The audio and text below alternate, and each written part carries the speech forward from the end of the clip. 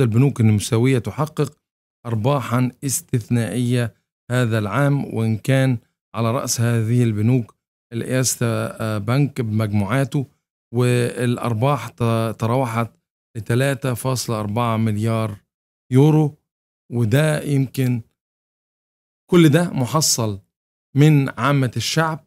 وإن كان هناك في ارتفاع في الأسعار على الجانب الآخر ارتفاع في أسعار الطاقة ارتفاع في آه، آه، أسعار المواد الغذائية ونلاقي على الجانب الآخر البنوك بتحقق أرباح طائلة.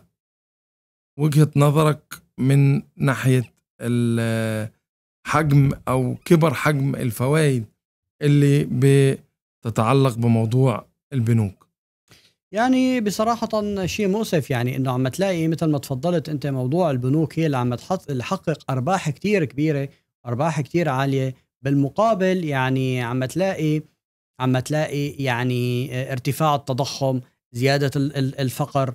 الشركات الكبيرة هي اللي فقط عم تقدر تحقق بصراحة يعني حالة من ال من ال من الأرباح. مع هذا المومنتوم البنوك النمساوية نعم تحقق أرباح استثنائية. هذا العام هذا كلام صحيح. يعني شيء مؤسف 3.4 مليار يورو. طيب على أي أساس؟ بتذكر كمان عندنا كان خبر قبل بأسبوعين شركات الطاقة تحقق أرباح خيالية وأرباح استثنائية. لماذا يا سيد الكريم؟ لماذا؟ لأن لأن بصراحة آه، طريقة وآلية ارتفاع الأسعار التي حصلت بالفترة الأخيرة لم تكن مدروسة. يوجد الكثير من الشركات الضخمة والمؤسسات الضخمة مثل مؤسسة البنوك مثل مؤسسة شركات الطاقة استفادت بالملايين.